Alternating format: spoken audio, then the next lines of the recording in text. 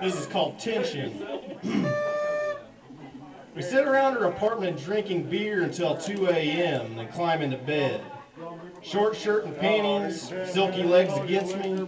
My sex drive is at a fiery peak after having my car towed for driving with a suspended license. Paying to get my car back, paying to get my license back. Caught in financial hell, I needed a release. I begin stroking her thigh, move in for the kill. I'm tired, she said, and rolled to the other side of the bed. Frustration erupts my body. My one chance gone. Sexual tension is boiling inside. She falls asleep. I slip into the bathroom, turn on the fart fan to break the silence, and jack off. It had been a week's worth of, I'm not horny, and it had been a week's worth of bills, the fart fan, in my hand. The tension is somewhat released. Bed seems like the best thing now.